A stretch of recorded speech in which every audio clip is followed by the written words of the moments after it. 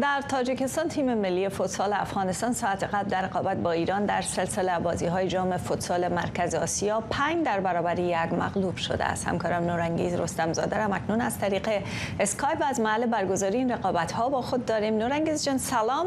ابتدا کمی در مورد مسابقه امروز معلومات بتیم و که با این نتیجه حال جایگاه افغانستان در جدول برنامه رقابت ها در کجاست و واکنش ها به عملکرد تیم افغانستان چگونه بوده؟ سلام جان. این اولین باخت تیم ملی فوتبال افغانستان است پس از دو بردی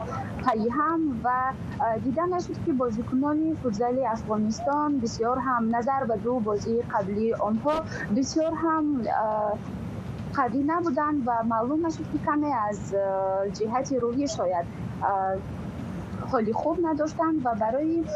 صحبت با دو کارشناس تاجیک در سمت فوتزال معلوم شد که آنها هم در بازی شرکت کردن و آنها قید کردن که یکی از آنها قید کرد که از تیم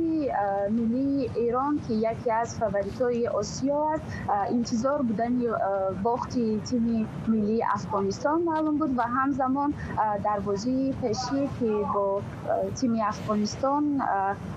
در وقت بازی گل کیپری خود یا اینکه دروازه‌بان خود را از دست داده بود. این هم بسیار هم معلوم نمودار می‌شد دیگر کارشناسی تاجیک به این عقیده بود که از حسابی که بسیار هم بازیگران از جهت روحی خوب نبودن و خود را بسیار هم آرام احساس نمی‌کردن بسیار هم هنگام بازی آنها مشاهده می‌شد. تا این بازی تیم ملی افغانستان در صدر جدول گروهی بود با گرفتن 6 امتیاز و